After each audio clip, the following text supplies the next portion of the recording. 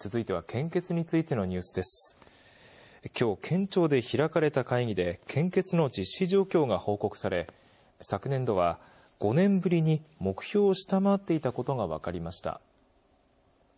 こちらは森の都献血ルーム青葉です。皆様どうぞ献血にご協力ください。お願いいたします。青葉区一番町の森の都献血ルーム青葉です例年寒さで外出を控えがちになる冬は献血に来る人が減る傾向にあります。今日の予約は1日に必要な血液55人分に対して23人にとどまり雪が降った昨日は30人でした。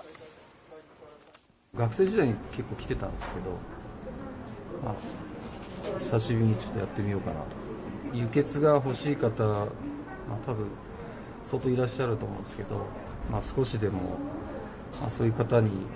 まあ、ご協力というかできればなと。今日で26回目になります。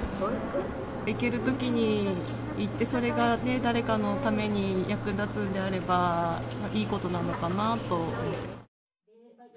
今日県庁で開かれた会議で献血の実績が報告され昨年度の献血者数は目標にした9万1954人に対して94人少ない9万1860人と5年ぶりに目標数を下回りました。今年度を含む6年間の達成状況を見てみると献血バスの出張が控えられるなど新型コロナに突入した2020年度以降献血が減るのではないかと懸念されていましたが目標を達成していました。さらに今年度は新型コロナの5類移行の影響もあり今年1月末の時点で85%余りと3月までに目標を達成できる見込みです必要としている患者さんはあの変わらずいらっしゃるもんですから、えー、そういった時期でもあの